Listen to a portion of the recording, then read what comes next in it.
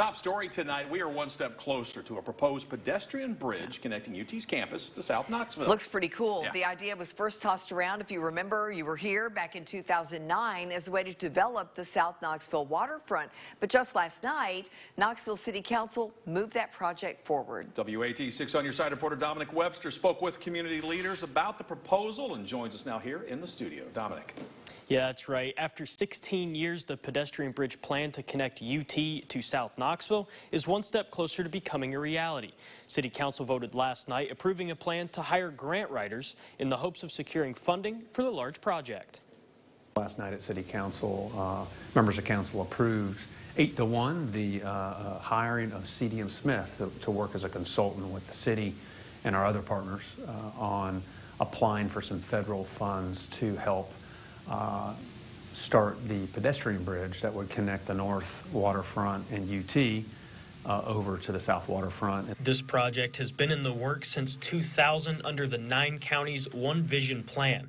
The idea is to connect the South Knox waterfront to the University of Tennessee. This PED bridge, which was in the original vision plan, now uh, has moved up to be really viable, and there's an opportunity there. This approval has been met with some pushback asking for more public input and a statement from Janice Toker, a South Waterfront advocate, saying in part, quote, there has been no public meeting to inform the community of these plans or get feedback. Perhaps the city needs to be reminded that the best way to get people on the same page with a shared vision is to provide transparency through public meetings, end quote. This idea is that it came from the South Knoxville community. And so now it's time for the South Knoxville community to come back and say, this is how we want to do this. And right now, community leaders are in agreement that it is time for this development. The development takes time, and it's finally time, I think, to, to re envision this idea. But it's important that the neighborhoods, the people that live there, have a say in how it gets done.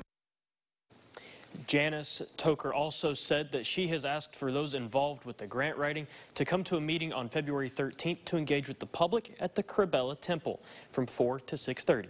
Lori, Lori. All right, uh, Dominic, thank you so much. Now, we also reached out to leaders at UT, and while no one was able to talk on camera today, university officials did tell us they're pretty excited about this project. In a statement, they say, quote, there is an energy in the community about what is possible with the pedestrian bridge connector that will make South Knoxville's growing amenities even more attractive to students, university employees, local citizens, and visitors to Knoxville.